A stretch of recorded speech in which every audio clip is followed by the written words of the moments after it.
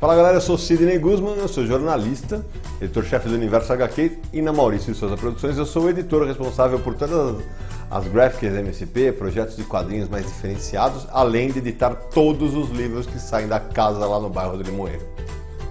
Quando eu resolvi fazer um workshop de edição de quadrinhos, quem me amolava, ficava no meu ouvido, foi o Marcelo Campos, lá da Quanta. Porque ele falava assim, não, vamos fazer um workshop de edição de quadrinhos. Eu falava, gente, quem vai querer ser editor de quadrinho nesse país?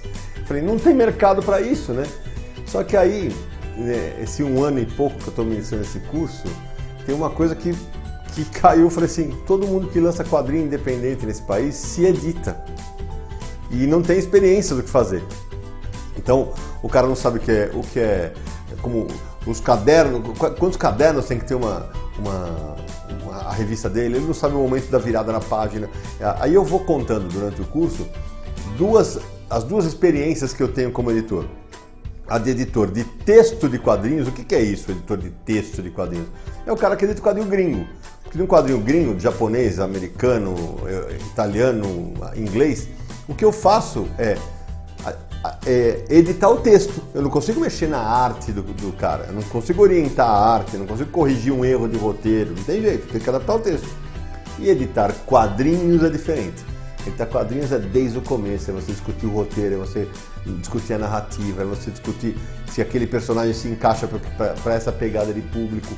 Tudo isso é contado no curso com muito, mas tem muita atividade e muito exemplo.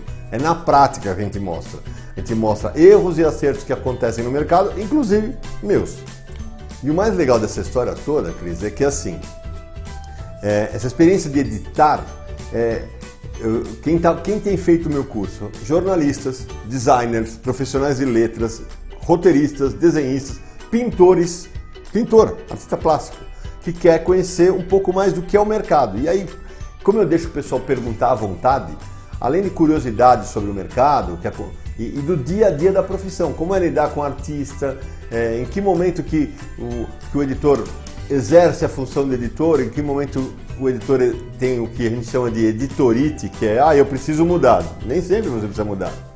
Então, durante esse um ano e meio que eu tenho ministrado esse curso, quase um ano e meio, já eu tenho aberto o leque o máximo possível para pegar o máximo possível de profissionais e isso enriquece também para mim porque vem, vem mais dúvidas que eu vou acrescentando ao curso. O primeiro curso que eu ministrei em junho, julho do ano passado em São Paulo tinha 222 slides. O curso que eu vou ministrar aqui em BH amanhã tem 296 slides.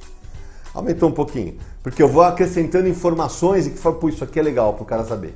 E, e para quadrinistas independentes especialmente, eu tive num evento há 15 dias é, em Porto Alegre Fiquei extremamente feliz que na hora que eu estou passando no Arciale tinham quatro alunos meus.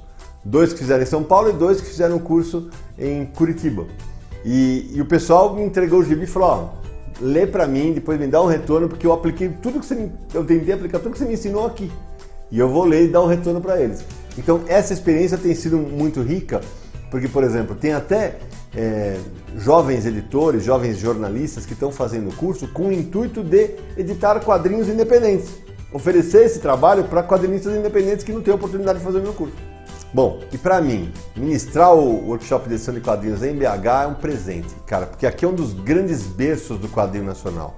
Não é à toa que o FIC acontece aqui, o Festival Internacional de Quadrinhos, que é, é de longe o evento mais simpático que, fala, que, que aborda quadrinhos no país.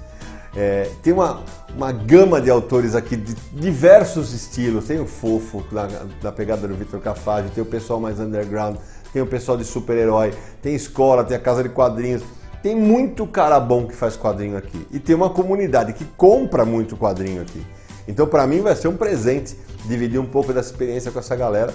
E espero que a galera curta e, quem sabe, eu volte mais vezes para cá. Valeu, galera!